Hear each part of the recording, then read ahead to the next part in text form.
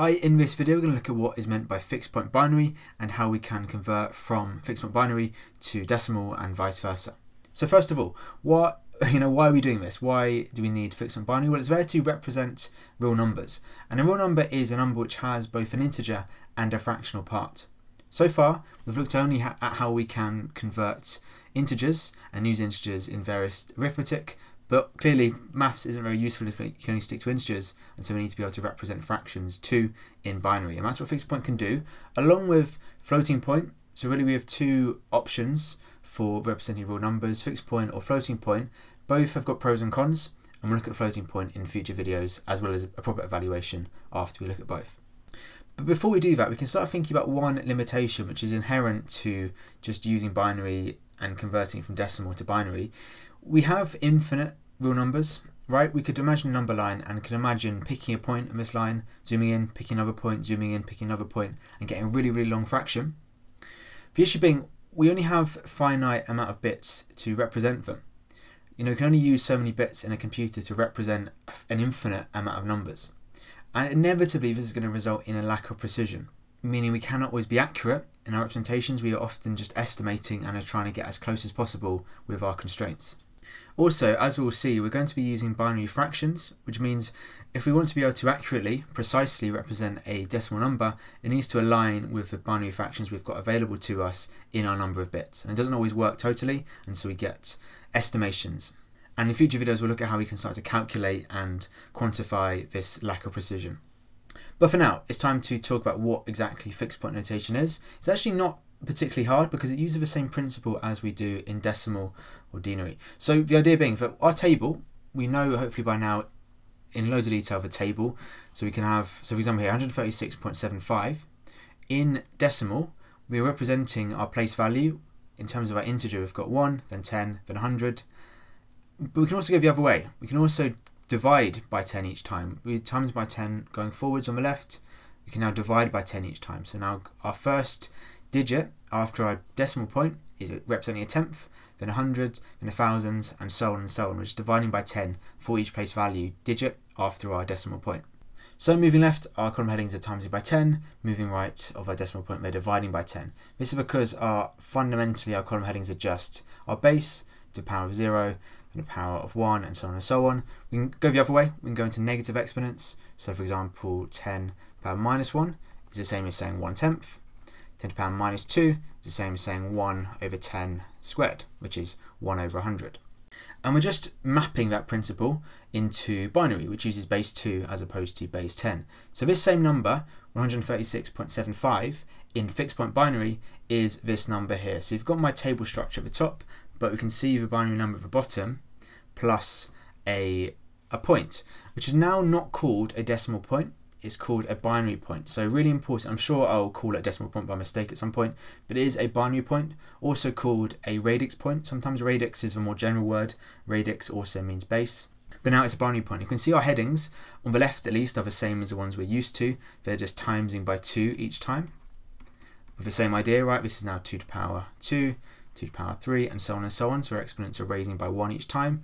Whereas we're going the other side, we're now getting 2 to power minus 1, which is a half, 2 to the power minus 2, which is now 1 over 2 squared, which is a quarter, and so on and so on moving forwards. So I'm representing this binary number with this binary point embedded within it, but actually we don't explicitly store the binary point in memory. There's not an ASCII bullet point sat there because we just need to store, we just need to know where the binary point will be relative to the other bits. So, for example, it might have it stored, well, it, we, we know that it's stored before the nibble, but it's in a fixed point. So we, we know where it is, it's just not always directly stored. So it might just be stored as a long binary number. You might get given a byte and are told that the binary point is between the two nibbles. It'll be something like that. But anyway, going back to how we would use this number in our conversion. Say we were given this binary number with or without the binary point in that position. We need to calculate what decimal number this is. And all we're doing, like normal, is multiplying our row by our heading. So here we've got one lot of 128 plus one lot of 8, which gives us 136 on our integer side. And on our fraction side, we've got a half plus a quarter, and that gives us 0.75. Therefore, we can kind of add the two together, and we get 136.75. So actually converting from fixed point into binary is not very hard at all. Same idea, we're just multiplying by headings, and our headings in our case are now dividing by 2 as we go past our binary point. So let me show you a few examples of going from decimal into fixed point binary because it's a little bit trickier. Not much trickier, but it's still worth showing. If you feel comfortable, you might want to try these before I show them. Or if you feel really comfortable, you can stop watching here, of course. So first of all, representing 22 in 6.25. Well, we can do 22 on its own first of all as an integer because we can kind of think of them as separate, to be honest. So let's just do 1 as our headings 1, 2, 4, 8, 16. We don't need 32 because it's above 22 and we're not given a particular length specified. We're not given, say, a byte. Uh, so 16, how many times does it go into 22? It goes in once, remainder 6, so 8 is bigger than 6, 4 goes in, remainder 2, and that is our integer part, 10110. Now we have a binary point, in fact, I should probably do it a bit further below. Ignore that, it's part of my line. Uh, and now we are doing our fraction parts. So we, we're now going to a half, which I would always write as 0.5. It's easy to visualize for me at least. And then we're going to a quarter, 0.25, and then an eighth, which is 0.125, and so on and so on. But we're not going to need to go further than those, I can see already, because we're just now doing, well, what is 0.625 in binary? So what is how many times is 0.5 going to this? It goes in once. What is our remainder? Well, if we take away 0.5 from this, we're going to get 0.125. So therefore 0.25 is bigger than 0.125. So we put a 0 here. And then we've got, thankfully, 0.125 over here. Put down a 1. So that's our answer, 10110, then a binary point, then 101. Question 2 is a little bit more involved because we're now trying to use it with 2's complement, which of course we can, there's no reason not to we're representing now minus 4.25 and it's given us the actual length 5 bits for the integer and 3 bits for the fraction. So um, we want to do all of this as a whole this time. We've got 8 bits in total, 5 plus 3, so we've got 8 bits representing this. So first of all, let's just do our integer part. So we're doing 1, 2, uh, 4, 8, and then our fifth column heading is going to be a negative column because it's 2's complement. We'll do negative, uh, what is it, 16? This. Okay, and then let's go other side of our binary point like so. We've now got three bits here. So same as before, uh, 0.5, 0.25 and 0.125 like this. Okay, so more than one way you could do this in two's complement. This is just a way I've chosen to do it uh, for now. So, um, right, we're now doing uh, negative 4.25. So we've got to put a 1 here for negative 16. It's just how two's complement works because it's a negative number. So what is the difference between negative 16 and negative 4.25? Well, the difference is going to be 11.75. So now we're looking to see what goes into this. So 8 goes into this once, remainder 3.75. 4 doesn't go into this. 2 does go into it once, remainder 1.75. Uh, 1 goes into this once, remainder 0.75. And now we go into our fractional part. Uh, 0.5 doesn't go into one. Uh, sorry, it does go into 1. Point, uh, 0.75 once. Remainder 0.25. Therefore, 0.25 goes into it once. Remainder zero.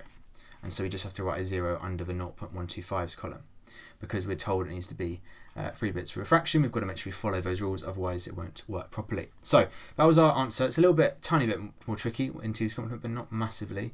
Uh, so the answer here would be 11011, then your binary point, then 110.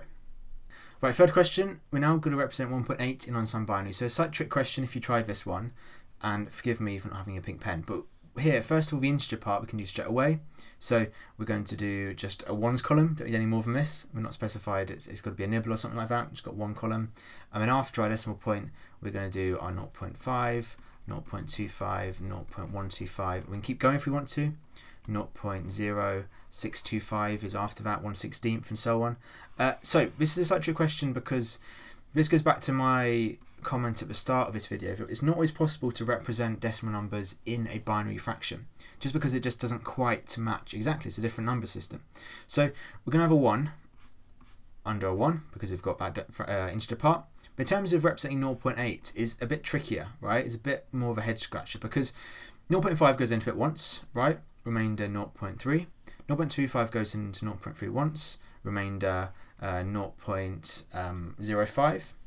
Now 0.125 doesn't go into it, but 0.065 also doesn't go into it, so we can keep going a little bit, which is 0.03125. which does go into it, goes in once, remainder remainder something, which I'm not going to work out in my head. But the idea is it's going to keep going on forever. We're never ever going to totally be able to represent 0.8 in binary fractions. We'll be able to get close. We'll be able to get a decent estimation at some point, but eventually it's going to get really, really close to 0.8, but never quite reach 1.8. So that's something to consider when doing binary numbers. Uh, you can't always convert completely, but we can usually convert to a decent amount of precision if we have loads and loads of bits. But be aware that you can't always do things perfectly, especially with only a few uh, places after you after your binary point.